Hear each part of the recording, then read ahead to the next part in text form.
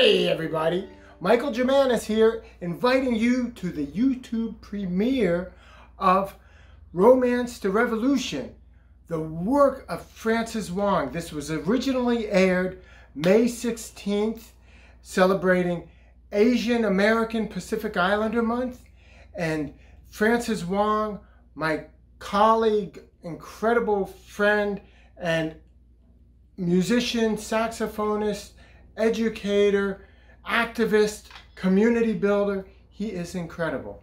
And his works are something to behold. I hope you can join us June 13th at 5 o'clock. The works of Francis Wong.